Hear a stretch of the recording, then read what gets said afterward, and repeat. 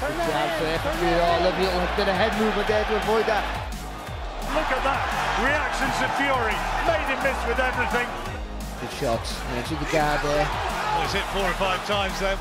Good fast hands from Fury. I do like what I'm seeing from Tyson Fury now. Cassius Clay, I remember him doing that back in the day. Again there, just ducking inside that right hand. Good work from Fury. Good work. Lovely. Manages to land his shots and then skip away from the attempt at counter. You know you're going to get jokes and all sorts of antics with Fury. Big right swinging through thin air. Good footwork again. Yeah, there's not a lot of heavyweights who can do that. Oh, brilliant, brilliant. Good right hand. Beautiful stuff. Very fast hands for a big fella. Quick snapping right hand there. Oh, it's a terrific. Oh, great shot.